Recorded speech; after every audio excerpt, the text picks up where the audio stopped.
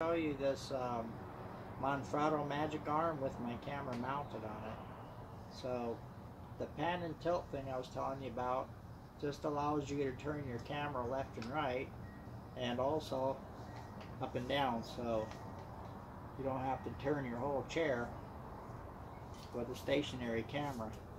But one thing I have to tell you is this thing only has a certain weight limit so if you get too heavy it'll move on you so you gotta keep the weight on it down so um, keep things clamped down really tight. So there's three parts to this. We've got the clamp over here. It's tied to the bot to the uh, frame of my chair. And get a little closer so you can see. Uh, here we go. So it's tied to this tube right here. It's clamped down really good you unclamp it here. This little knob right here keeps this whole thing from pivoting on the clamp. This thing right here is what you tight, you, you move it left or right, and it's got giant rubber bands inside here, or whatever it is, it, it locks it down. It's the magic of the magic arm. So this is what locks everything down. And then the other part of this is this mounting piece right here. It comes with a magic arm, and that's what you mount your camera to. Um, you can also mount other things to it too, but is primarily for a camera. And then the swivel part is the part I had to uh, buy separate, and they're like 35 bucks. They get more expensive, and there's many varieties, but if you want to move your camera back and forth, you need to find the one that's uh, made for uh, video cameras. So you got pan and tilt, and some of them have a bubble uh, level on the side of it. That green thing you see here. But it should have a second one up here.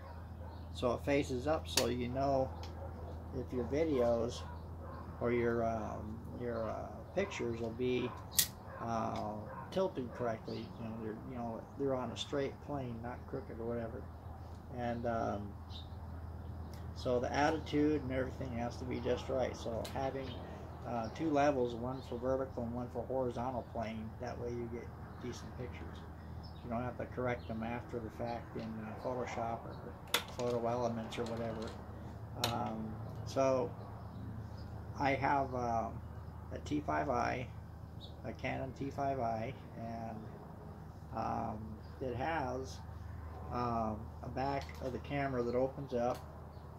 Let me show you here. It also has two lenses, but on the back, I'll turn it on and show you. Maybe you'll get to see this. So on the back, you got your little display right here.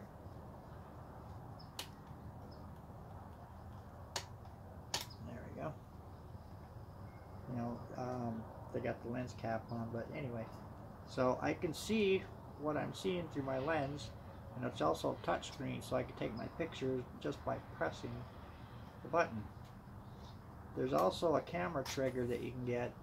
Um, you can put it in your mouth, kind of like that uh, trigger you had on your gaming uh, pad there. So some things to think about when you want to get this thing set up for you. So I'm going to wrap this up and say good luck with your Manfrotto Magic Arm when you get it. If you need any help or tips getting it set up, uh, let me know and I'll see what I can do to help you out.